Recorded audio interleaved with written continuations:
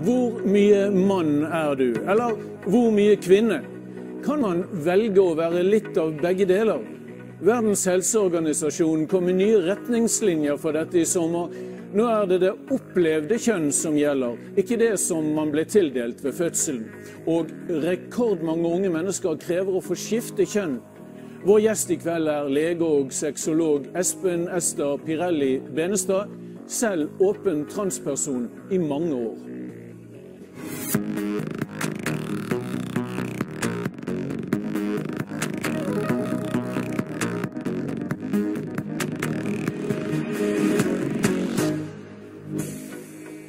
Ja, Espen Ester Pirelli Benstad.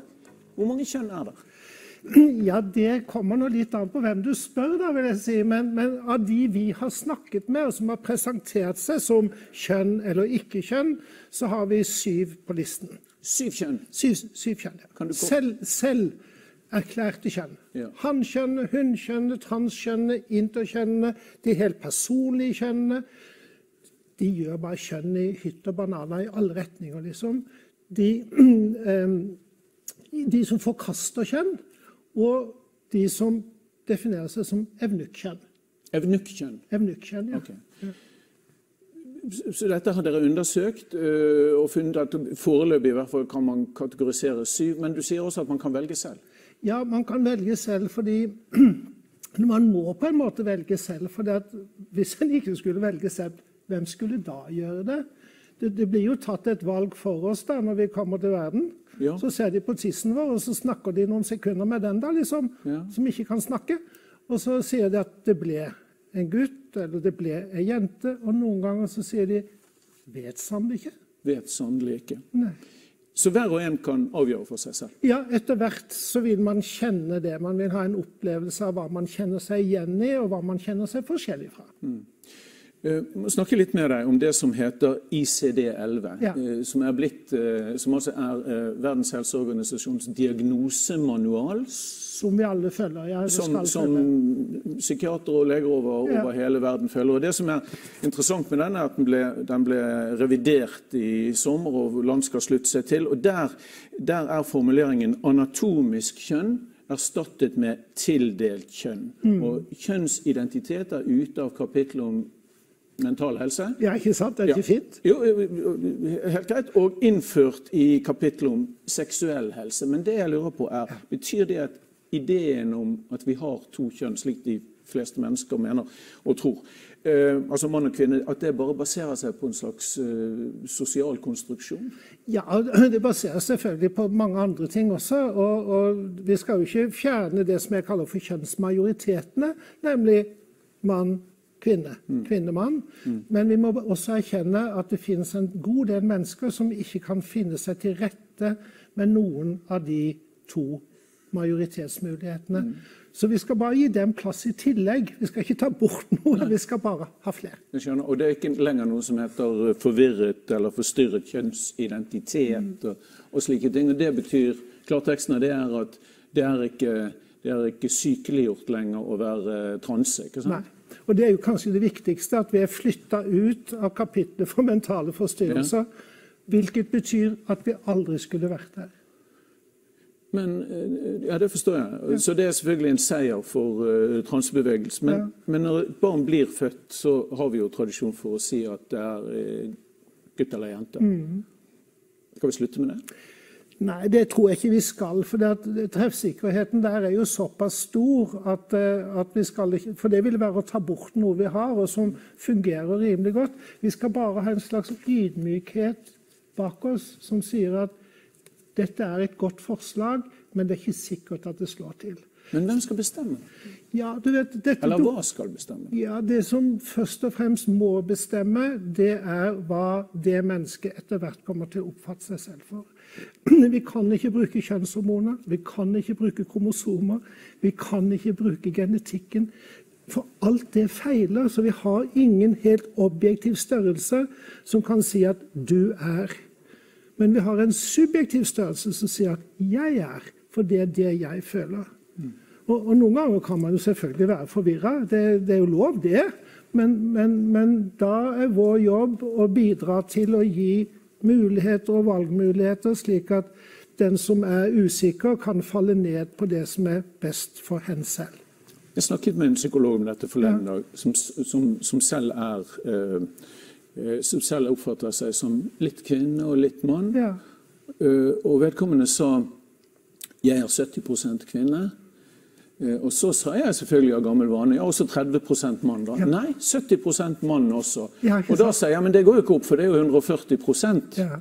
Men, men, men, her gjelder ingen gammeldagse regler? Nei, du må tenke to dimensjoner. Så kan du si at Hvis dette er kvinnedimensjonen, den som ligger horisontalt nå, så kan du ha 70 på den. Mm. Og så er den vertikalen her, det er mannedimensjonen. Så kan du ha 70 på den også. Mm. Det ville passe greit for meg. Jeg liker å si at det er 100 begge deler, for det får jeg mest ut av. Mm. Ja, La oss snakke litt om deg. Ja. Du driver jo litt i underholdningsbransjen også ved siden av å være eh, professor i sexologi ja. og lege. Hvordan bruker du eh, kjønnet i, den delen, altså i, i eh, underholdningsdelen av livet ditt? Jeg, jeg skriver jo lyrikk, og, og, lyrikken har jeg lært at den at når jeg snakker til deg lyriske, på lyriske måter, så lytter du med en annen del av hjernen din, slik at, at der jeg ikke nødvendigvis får atkomst med å være veldig rasjonell og fornuftig, der kan jeg få atkomst ved å bruke lyrikk. Mm. Og så syns jeg det jeg syns det er godt å levere noe jeg syns er fint. Du har jo en del fine dikt. Du har jo bl.a. et dikt som eh, jeg opplevde deg i sommer på Sørlandet, da du ja. fremførte det, som, som, handler litt om hvordan um, du fant deg selv. Går det an å si det på den måten? Ja, det blir en sånn mini-mini-portrett. Jeg tror mm. det er det du tenker på. Skal du høre det en ja, gang kan til? Ja, kan du ikke ta det her også? I hjemmet gjemt bak mørkt gardin jeg inntil nå har gjort meg fin. Av redsel for enhver som kunne se, har jeg alene utført det som mine drifter drar meg til, og mine sanser gjerne vil, som ikke min forstand forstår, men som har bodd i meg i alle år. Noen kaller det en maskerade med lånte fjær og en kvinnes fasade. I hjemmet mitt der var det dødsens tyst. Den tier still, Vi skjulte lyst går mot hva Gud og hvermann sier. Det er i frykt for straff man tier. Kulturen mener du må og du bør det leve slik flertallet gjør det. Ikke gjør ting bak mørke gardiner som opprører prest og syk-medisiner. Noen sier det er sykt. Ingen mann er en kvinne de ser ikke kraften og livet der inne. I hjemmet mitt, der slapp lyset inn, gardiner ble trukket til siden. Da våknet kraften i sjelen min, og jeg eide meg selv hele tiden. Det mørke ble lyst, det triste forsvant. Jeg gjorde mitt opprør, jeg bannet og vant. Jeg fulgte min lengsel, det var slik jeg fant at ingen, slett ingen fra noen kant, kan si det er feil, det som skaper slik glede. Det gale, det er å holde det nede. Flott fremført også, eh, og eh, en, en, begripelig fremstilling av eh, hvordan du var og hva du ble. I dag kaller du deg selv en transperson. Ja. Jeg har ingen ambisjon om å være mann, ingen ambisjon om å være kvinne. Jeg får i grunnen ikke til noen av delene, men jeg syns det er fint å være trans. Det får jeg til. Men hvor lenge var du mann? Ja, det kan du si. Altså, dette andre, dette, denne kvinnedelen, om du vil, den, den, kjenner jeg jo tilbake til jeg var fire år gammel. Mm. Så den har jo alltid vært der. Men, men hva vet en fireåring om hva det er? Slik at det er jo når jeg liksom ser tilbake, jeg kan prøve å skrive historien om kjønn i mitt liv. Eh, og den historien har fått mange ord og mange måter å tenke på fra 2018, som jeg ikke hadde i 1940-53. Mange som ser på nå, lurer på hva du har gjort med deg selv for å se ut som kvinne. Ja. ja jeg har jo gjort en del. Jeg har uh, underkastet meg masse laserbehandling, slik at det som er mest fremtredende, det du aldri kan skjule, nemlig skjeggskyggen, den er borte. Mm. Og så har jeg blokkert mitt testosteron, jeg har brukt eh, østrogen, slik at kroppen min på en måte er blitt ganske fleksibel i forhold til det livet jeg lever, hvor jeg switcher mellom å se ut som mann og se ut som kvinne. Mm. Og jeg, jeg syns jo det er ålreit å liksom på en måte fremstå med dette mannlige også av og til. Liksom. Man skal ikke gi fra seg noe. Nei, Men stemmen din er jo litt lys der oppe. Ja. Og har du gått i trening for noe? Det har jeg øvd på. Jeg gikk hos en operasangerinne som dessverre er død der borte. Okay. Hun lærte meg litt om hvordan man kan snakke oppi her. Ja.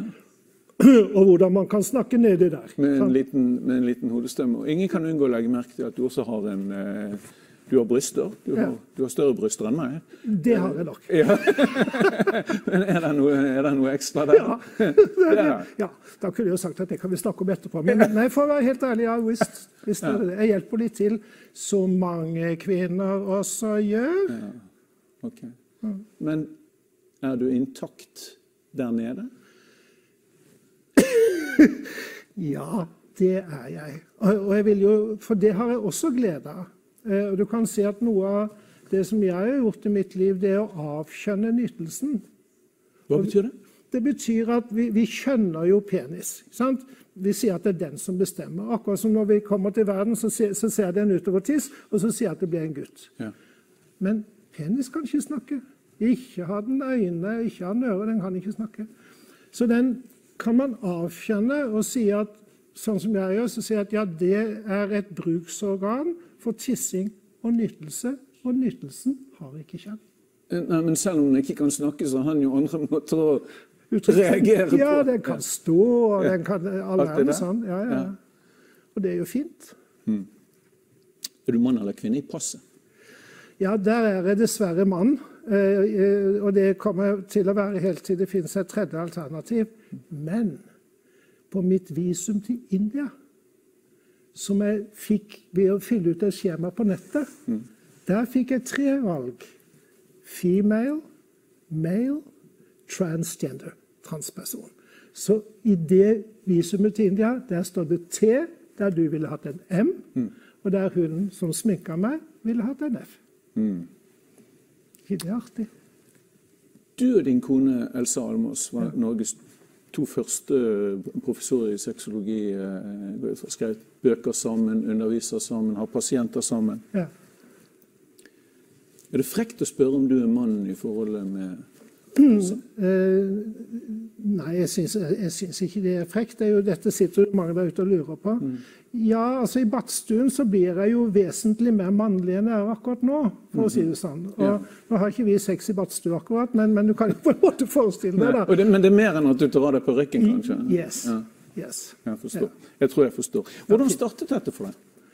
Dette med, med mm. trans? Mm. Ja, nei, Det kom jo til meg, som jeg nevnte da jeg var fire. Da hadde jeg lyst til å, å gjøre sånn som jentene gjorde. Jeg hadde lyst til å kle meg sånn som de gjorde. Mm. Så, så, det har jo vært der hele tiden, men veldig lenge bak mørkt gardin. Mm. Som, som, du, ja. som, du, diktet om. Ja. Hender det at menn legger an på det? Ja. Hva, hva skjer da? Da sier jeg 'thank you'. Ja. Ja. Altså, I Norge skjer jo ikke det, men det skjer noe veldig fint i Norge. Ja. Og det er jo at f.eks. store, barske menn eh, som liksom kan se nesten litt truende ut noen ganger, de kommer bort og så sier de, 'Jeg vil gjerne ta deg i handa, fordi for at du er så jævlig tøff'. Mm. Og det beundrer jeg, sier de. Mm. Og da sier jeg kunne du ikke si at jeg var litt søt også, da kanskje. Men, de, men det gjør det. For det altså. hender ikke at du legger an på menn? Nei. Det, det, gjør jeg ikke. Jeg flørter jo med all verden. Så, ja. så, men å legge an på er liksom litt mer enn å bare flørte. Det er noe annet. Ja, det er noe annet. Fortell meg hvorfor, uh, hvorfor du heter Pirelli. Ja, Det var fordi at for mange, mange år siden så skulle jeg hadde gått med en annonse i, i lommeboka i, i halvannet år fra en sånn transorganisasjon, FDP, med, hvor jeg liksom tenkte at de må jeg ta kontakt med, men jeg brukte lang tid på det. Og når jeg omsider da meldte meg inn, så fikk jeg beskjed om at jeg måtte ha et fingert kvinnenavn. -hmm. For det var bare lederen i organisasjonen og kassereren som visste hva man egentlig het. -hmm. Så tenkte jeg OK, et dekknavn, ja. -hmm. Jeg må ha et dekknavn. Så tenkte jeg Vikingstopp har ikke noe flukt. Og så tenkte jeg på Miss Dunlop. Tenkte på Michelle Eng. tenkte jeg på, han var fin. Men så syns jeg Pirelli. Pirelli. Det er det beste dekknavnet. Så da heter jeg Ester Pirelli. I de kartotekene. I de kartotekene. Og det var vel Grimstad politikammer som utslettet, litt sånn uoffisielt? Det gjorde det, og det, altså, han skal ha en plass i himmelen for at han gjorde det. Og vi lagde et ark med to bilder, så det sto at dette er samme person, og så stempla Grimstad politistasjon. Det fikk han kjeft for, men englene vil belønne ham. Okay. La oss skifte tema litt, litt på skrås. Mm. Hvor unge kan unge mennesker være for å skifte kjønn? Ja, Nå skal vi sette et lite spørsmålstegn med dette å skifte kjønn, for det er det jo på en måte ingen som gjør. Mm. Altså det, det, man gjør, det er jo å bekrefte det kjønnet man opplever å ha. Okay. Og Det er jo der problemet oppstår, på en måte. for det at, at eh, Ingen er jo født i feil kropp, for hadde de vært født i en annen kropp, så ville de jo ikke vært seg. Men kroppen bekrefter dem ikke ordentlig. Eh, og Derfor justerer man det. Og, og når, hvor tidlig man kan begynne med den justeringen, det kommer litt an på selve historien. Noen ganger så skal man begynne å justere allerede når puberteten så smått begynner. Ved å rett og slett stoppe den, slik at vedkommende kan få mer tid til å områ seg og finne ut er dette meg, eller er dette meg, eller er dette meg. Og Så kan man da på toppen av en sånn pubertetsstopp eventuelt legge til en ønsket pubertet. Hvis man stopper stoppen, så kommer kroppens egen pubertet. Mm. Som for noen er dødelig fordi at den representerer et gigantisk kroppslig forræderi. Et kroppslig forræderi? Ja. Det har vært en enorm økning av ungdom som ønsker en ja, sånn kroppsjustering. Mm. Har du tenkt over hva det skyldes? Ja, jeg tror det er mange grunner til det. Det, for det første så er det nok blitt flere mulige historier å fortelle idet vi forlater tokjønnsmodellen og åpner opp for flere historier. At man kan definere seg som, som eh, non-binary, som man sier, altså utenfor tokjønns. Mm. Man kan definere seg og si at kjønn er ikke meg. Man kan gjøre det på så mange forskjellige måter. Så er tilbudet utvidet, og flere vil hoppe på. Og så er det ikke bare å hoppe på, men kjenne seg igjen. Og, og, og, og så er det det at um, det er blitt mer OK å være trans. Vi har Orange is the New Black, vi har Transparent, vi har Transamerica. Det, det er ganske mange sånne historier om transbegavede mennesker som har Og et åpnere samfunn. Ja, et åpnere samfunn. Så, så alt dette. Om det er noe mer enn det, det, det vet man jo egentlig ikke. og Det, det er klart at det, det, er viktig å prøve å finne ut av. For det er ikke så mye forskning? Jo, det er masse forskning. Men du vet, hvis du kommer og sier at eh, du har det ille i kroppen din, og du trenger å justere den, eh, og vi tenker skal vi si ja eller nei til det, altså hvis man er i den posisjonen, så er det veldig vanskelig å lage annen forskning enn å si enten nei og se hvordan det går, eller å si ja og se hvordan det går. Men kan det ikke være psykiatri? Det, hadde det vært det, så hadde jo psykiaterne funnet ut, funnet ut av dette for lenge siden. De, man trodde jo lenge det var en slags form for psykose. Inntil i år har det jo vært en... Ja, det har vært i det kapitlet. Ja. Men, men, samtidig så har det jo vært en, en psykiatrisk diagnose som har, har behandla med skalpell og hormoner.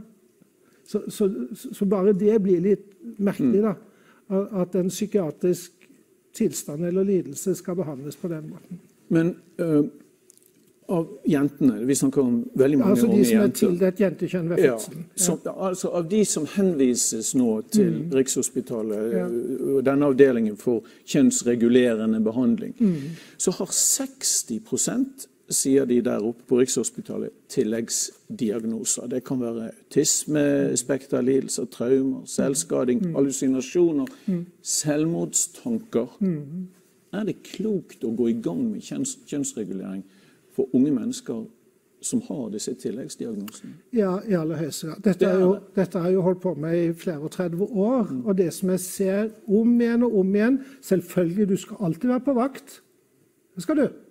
Men om igjen og om igjen så ser jeg jo at alle disse psykopatologiene som er, de detter jo ned som epler om høsten når de får gjøre sin kroppsjustering, når de får lov til å uttrykke seg slik de ønsker og slik de vil. Og når verden sier 'velkommen, så fin du er', så godt at du tillater deg å være deg, For da kan jeg også tillate meg å være meg. Men Så forsvinner jo disse Men hør, det er mer enn det som forsvinner. Når du er 16, så kan du begynne med kjønnshormoner. ikke sant? Du begynner å forandre på kroppen. Og når du er 18, så kan de begynne å skjære i deg.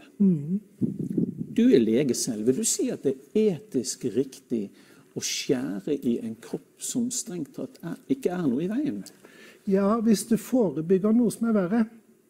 Så vi må på en måte tenke forbi det. For at vi leger liker jo ikke å skjære i friskt vev. Nei, jeg trodde det nærmest var uhørt. Ja, det er mange situasjoner hvor vi ta litt ekstra hvis vi tror det er en eh, føflekksvulst eller noe sånt. Så, Det er noe annet. ja, ikke sant? Jo, Det- men, men det er vel faktisk men, noe men annet. grunnleggende så, så, så, så vil vi ikke det. Men hvis vi ser da at dette er en behandling som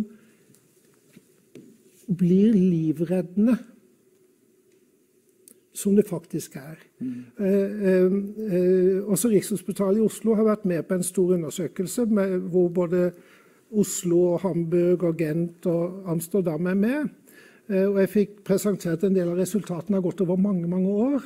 Og du mener de er, det er livreddende at de Ja, kom det, under behandling? det Endokrinologen sa hun snakka riktignok om hormoner. Hun sa at hormonbehandling er trygt og ofte livreddende. Men vi snakker, vi snakker om hormonell behandling og kirurgiske inngrep som er irreversible. Ja, det kirurgiske er De det. kirurgiske er jo det, ikke sant?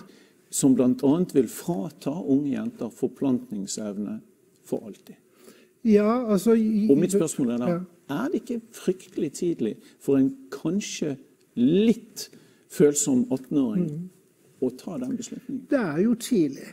Og da så kan si, Hvordan kan vi da støtte at man likevel gjør det?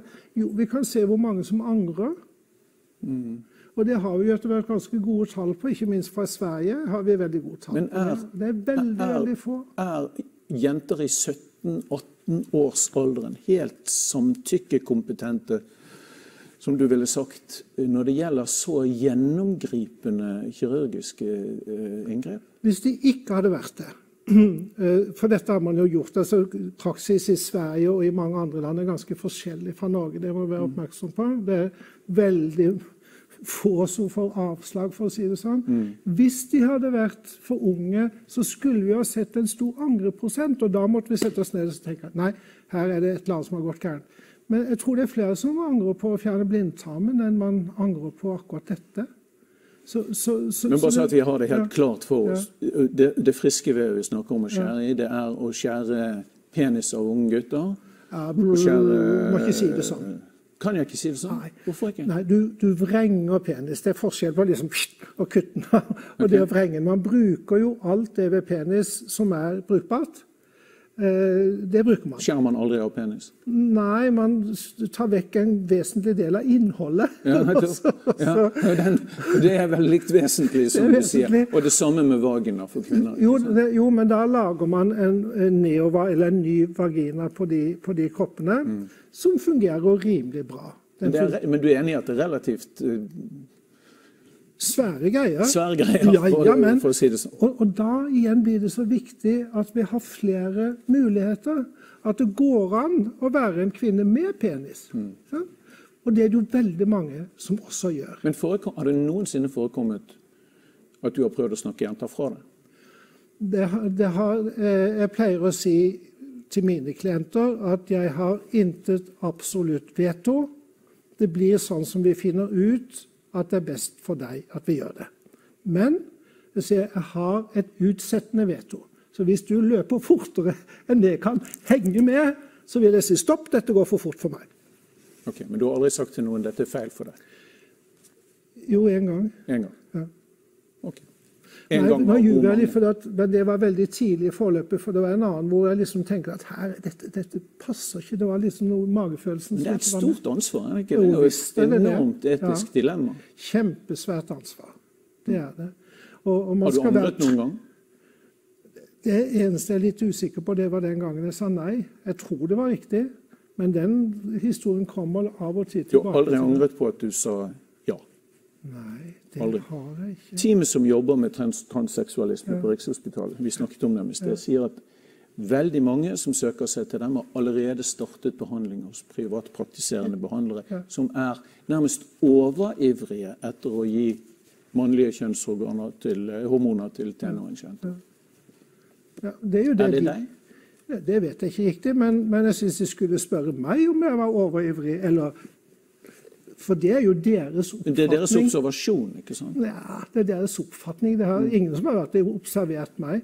Det er ingen Nei, men de liksom, observerer vel jentene som kommer? Ja, de får jo høre altså, det, det, det er ikke jenter som kommer, det, de opplever seg gjerne som gutter eller som utenfor tokjønnsmodellen, de som kommer. bare så vi har liksom orden på det.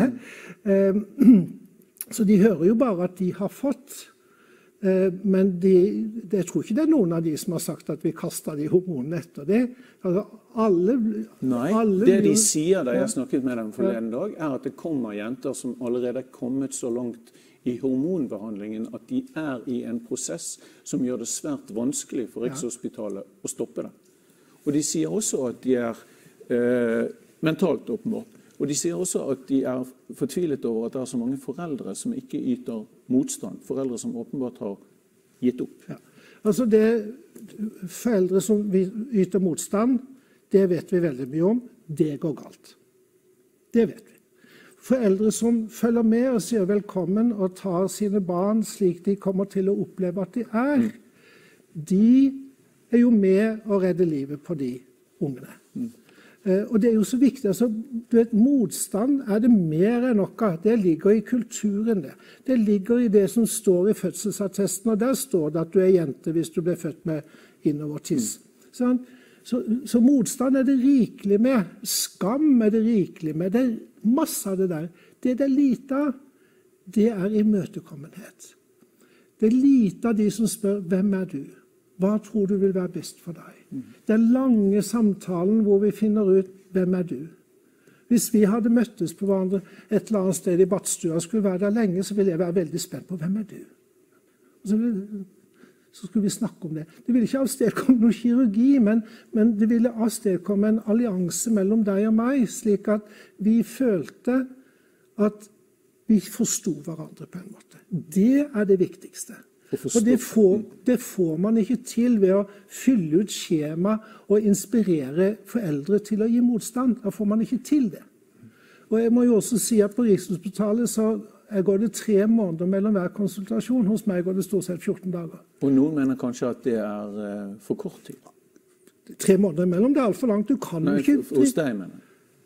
Ja, Noen vil gjerne ha ukentlige, men de fleste har det fint med hver 14. dag. Og så, og så blir det litt lenger mellom De, de, de sier også på, eh, på Rikshospitalet at de har hatt en 100% økning i tilstrømmingen hvert år Ja. siden 2012. Ja. Hva sier dere? Nei, det sier det vi var inne på i stad. Dette ser vi over hele, i fall hele den vestlige verden. At det er en betydelig økning av de som er tildelt hunnkjønn ved fødselen, og som opplever seg ikke som kvinner, vil jeg nok heller si. Men ofte ut av tokjønnsmodellen eller som menn. Og økningen Jeg med noen forslag til hvorfor den er der. Vi må jo prøve å finne ut av det. Men hva skal vi gjøre i mellomtiden? Vi har et godt norsk uttrykk som sier at kua dør mens gresset gror. Okay. Vi må stoppe det. Eh, takk, for, eh, takk for samtalen, Espen Ester. Det gikk fantastisk fort. Ja, det gikk veldig fort, og det var veldig interessant. Tusen takk. Eh, takk for at du kom til oss. Eh, da er vår sending slutt for i kveld. Vi er tilbake om en uke. Ha en fortsatt riktig god aften.